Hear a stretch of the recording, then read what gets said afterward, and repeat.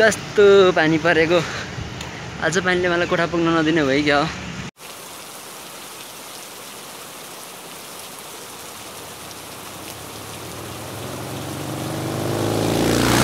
बस्नको लागि चाहिँ काठमाडौँ एकदम राम्रो ठाउँ हो। हरेक दिन पानी पर्छ। अहिले पनि पानी परिरहेछ।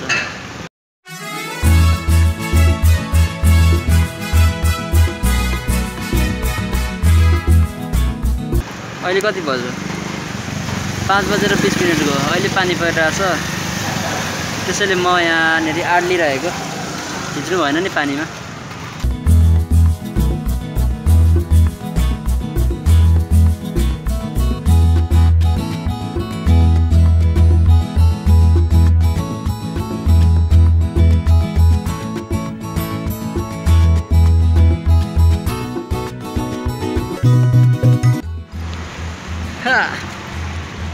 त खास कुरा के हो भने अहिले पानी परेको छैन पानी रोकिसक्यो। तर आकाश कालो भइरहेको छ। त्यही पनि गाडीहरू हिँड्न छोडेको छैन नेट। काठमाडौँ नि टन्नै हिँडिरहन्। अनि म पनि हिँडिरहेको छु। अनि चाहिँ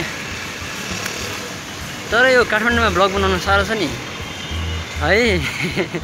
यस्तो मोबाइलमा चल्नुपर्छ होइन। मान्छेहरू आएकै हुन्छन्। अनि यस्तो काहीँ कुहीँ काहीँ कुहीँ होइन। यस्तो बोल्ने वातावरणै छैन।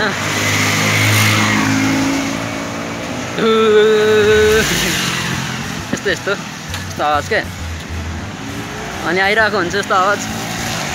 अब यो चाहिँ पानी परेको ब्लग होइन।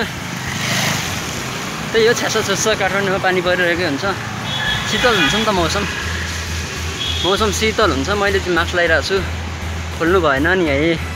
कोरोनाको बेला छ थर्ड वेभ भन्छन् है। आइसकेको छ। त्यसैले मास्क लाउनु होला ब्लग बनाउनु होला। ब्लग हेर्नु होला। ज्याद्रो। ज्याद्रो।